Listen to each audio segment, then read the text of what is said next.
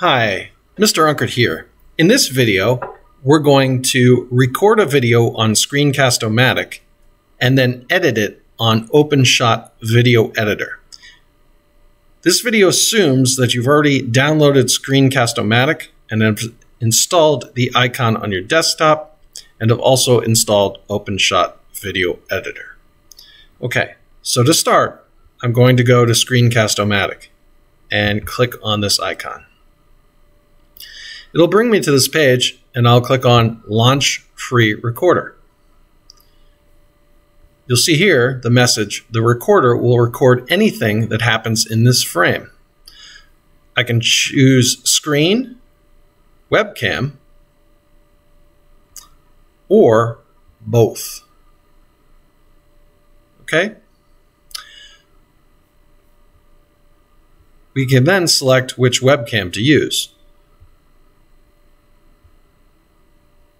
We only have one on this computer, so we're just going to use that one. Okay? To start recording, I'm going to click record, and it's going to give me a countdown. When it says go, it is now recording. Okay? I can open a new tab. Let's just do that again. And go to a website that I want to record or some other presentation that I want to record. For math, I like to use Draw Island. And there we go. Okay, so now I go to Draw Island. Perhaps for math, I might draw a triangle and have a lesson on triangles.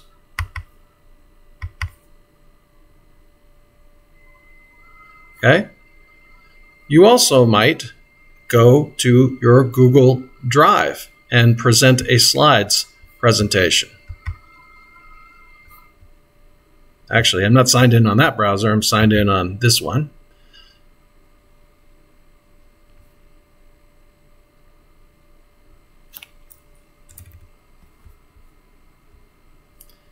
So let's go to Google. Let's go to my drive. And perhaps I have some slide presentation that I've previously created. This one's new, but I could do something and have something like that as a presentation.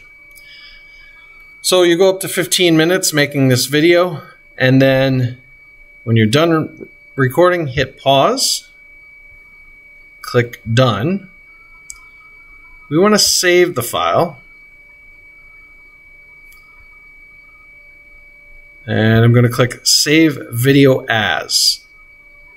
Okay. I'm going to change the file name to Sample Screencast-O-Matic. Whatever you want to name it. I'm going to pick the folder by browsing. Maybe I'll look in my documents and I'll pick this folder. Click OK. Then I can publish it.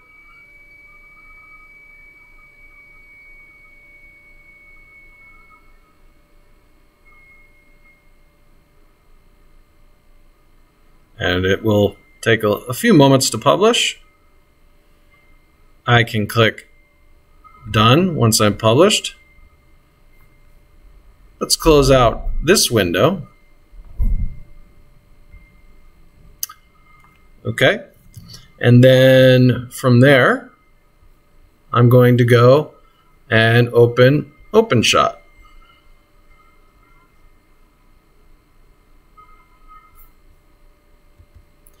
Scroll down to track one here. I'm going to go into my documents and find that video. Remember where you put it. Okay. I called it Sample Screencast-O-Matic. I'm going to drag it out over here and close this out. I like to put it on my desktop and then I can just drag it right into here. Okay.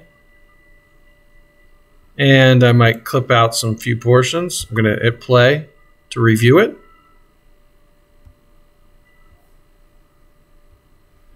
I'll select some portions that I want to crop. I can use the scissors here to splice the video.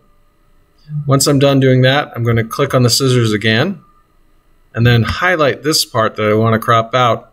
And with uh, my fingers on the keypad, I would touch it with two fingers or right click. I'm going to remove the clip. Okay. And then maybe later on, I wanted to cut out the end portion.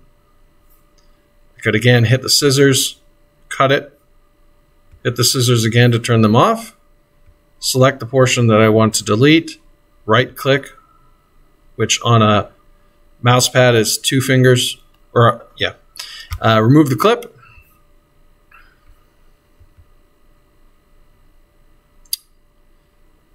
And then um, I can also add in some titles.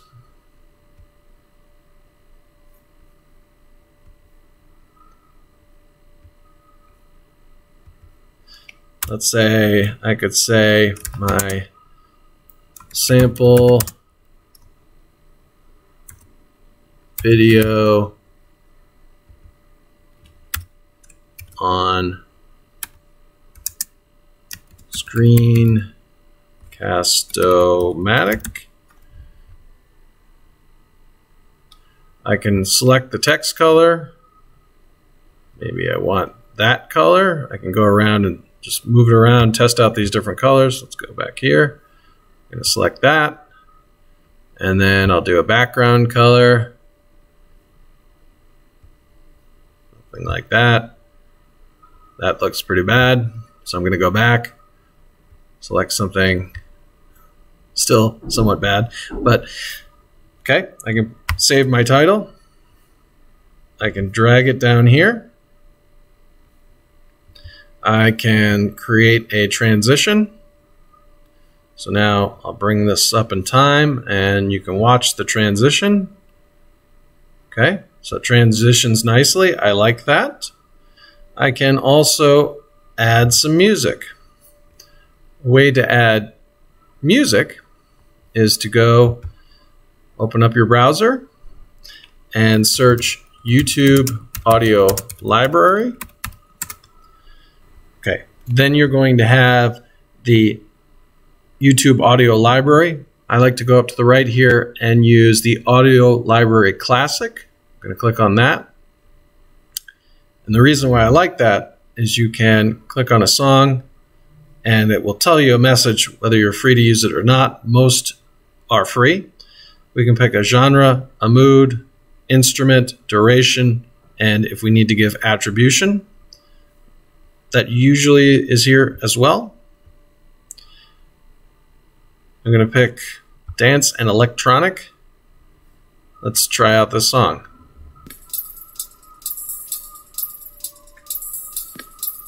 No.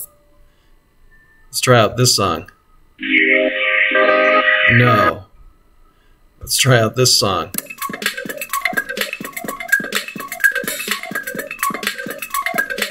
Yes. I'm going to download this song because it's free to use.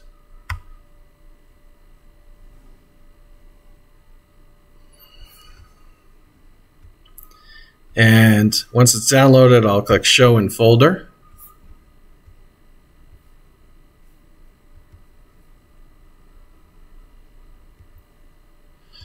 I'm going to move it to my desktop. I'm going to open back up OpenShot. And I'm going to put it in, drag it into track two to the start. And I, my personal preference is to just have it run during the title. You can do whatever you want with it. So as the title finishes right at the end of the transition zone, I'm going to use the scissors and cut the track. And then I'm going to click the scissors again to turn them off. I'm going to click on this part. It's going to highlight in red. I then, with two fingers or right click, remove the clip. Okay. Now again, I'm going to right click on this clip, go to volume, My personal preference is to have it fade out at the end of the clip. So I can go down to end of clip, hover over fade out slow and click that. Now let's preview.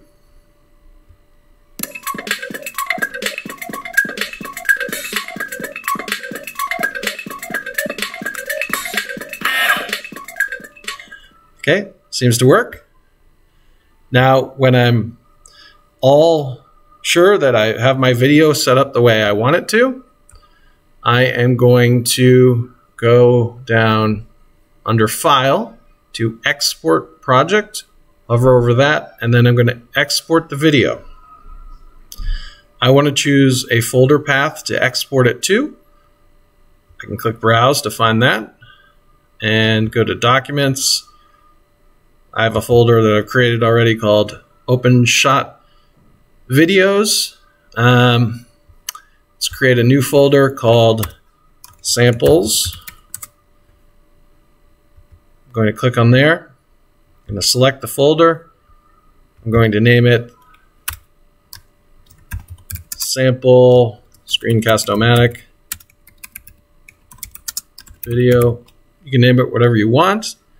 I'm going to pick web as my format. Instead, then the default will initially come up as Flickr. I want to scroll down to YouTube HD. I'm going to begin exporting the video.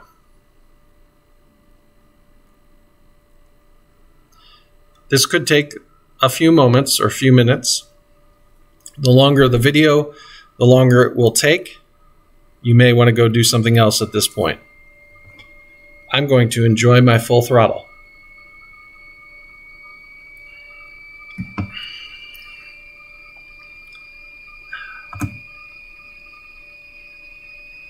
Okay, we're above 50%.